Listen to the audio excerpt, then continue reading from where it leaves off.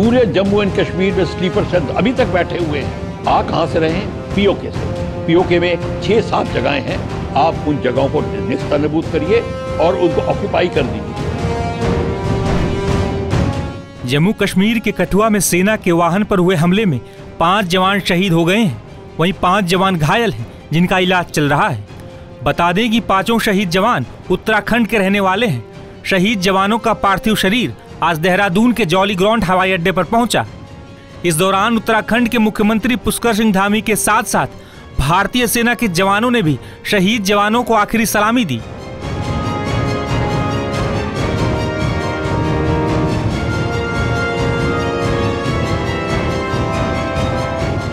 बता दें कि कल अचानक ही आतंकियों ने घात लगाकर भारतीय सेना के जवानों को निशाना बनाया।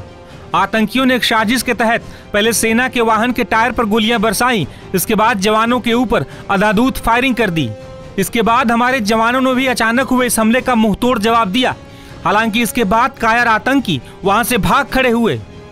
सुरक्षा बल आतंकियों की तलाश में बड़े पैमाने पर सर्च ऑपरेशन भी चला रहे हैं।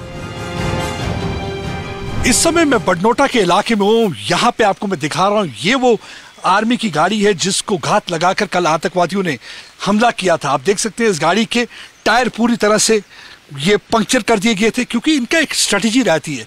जब भी इनको एम्बुश करना होता है तो सबसे पहले ये टायर पर गोली चलाते हैं ताकि गाड़ी रुक जाए। उसके बाद ये आखिर आतंकवादी हमला करते हैं और कोशिश करते हैं कि ज़्यादा से ज़्यादा कैजुअलिटी इन्फ्लिक्ट कर सकें। आप देखिए किस तरीके से हमारे बहादुर जवान जो कि यहाँ पर पे पेट्रोलिंग कर रहे थे, ये यहाँ से निकल रहे थे। उसी वक्त आतंकवादी यहाँ से आते हैं साथ के पहाड़ से आके वो यहाँ पर हमला करते हैं, ताबड़तोड़ फायरिंग करते हैं, जिसमें हमारे पाँच जवान जो है शहीद हो जाते हैं और पाँच के करीब जख्मी हो जाते हैं। उसके बाद आर्मी और आतंकवादियों के बीच में फायरिंग होती है। ये आपको मैं दिखाता हूँ, देखिए, कितना घना जंगल का इलाका है।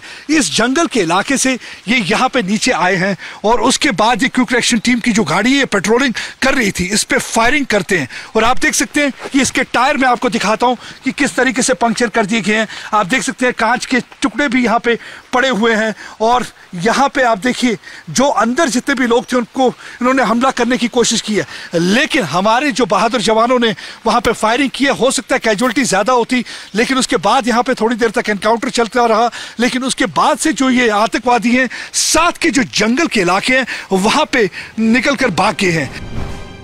बता दें कि जम्मू कश्मीर में बढ़ते आतंकी हमलों के बीच सेना भी बड़ी तैयारी कर रही है। आतंकियों ने हाल ही में श्रद्धालुओं से भरी बस को निशाना बनाया था। वहीं आतंकी लगातार सेना को भी निशाना बनाने की साजिश रच रहे हैं। आतंकियों की इस कायराना हरकत पर पूरे देश में गम और गुस्सा है। वहीं पूर्व विंग कमांडर प्रफुल्ल बख्शी ने कठुआ आतंकी हमले को लेकर क्या कहा? सुनिए। कोई टेररिस्ट की कमी नहीं है, क्योंकि पीओके का बॉर्डर खुला हुआ है। पाकिस्तान में भुखमरी है। पाकिस्तान में लोग हज़ार, पाँच हज़ार रुपए के भी लिए तो अपने बाप को मारने को तैयार हैं। तो वहाँ पे क्या प्रॉब्लम है? वो तो आप जितना पैसा दीजिए, वो आ जाएँगे। सपोर्टिंग सेट यहाँ पे है। कश्मीर से लेकर कन्याकुमारी तक कोई ऐसी जगह नहीं है जहाँ पे कोई ऐसा टेररिस्ट आ जाए और लोकल पुलिस को ना पता हो। तो ये तो आप भूल जाइए, ये सारा का सारा गेम खत्म तब हो सकता है। और आ कहाँ से रहे हैं? पीओके से। पीओके में छह सात जगहें हैं।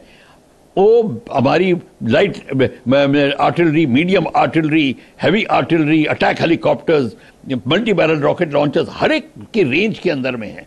आप उन जगहों को निस्तनबूत करिए और उनको ऑक्यूपाई कर दीजिए। एक बार आपने पीओके में कई जगह तीन चार जगहों को कब्जा करके रख लिया कपड़ा सर्जिकल स्ट्राइक किया, जो मर्ज़ी किया, आप फिर देखेंगे, उनके पाँव उखड़ेंगे ही नहीं, वो आना बंद कर देंगे।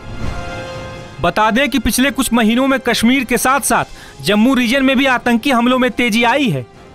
दरअसल इन आतंकी हमलों के पीछे पाकिस्तानी सेना और पाक खुफिया एजेंसी आईएसआई का हाथ माना जा रहा है। टाइम्स नाउ नव भारत डिजिटल की रिपोर्ट।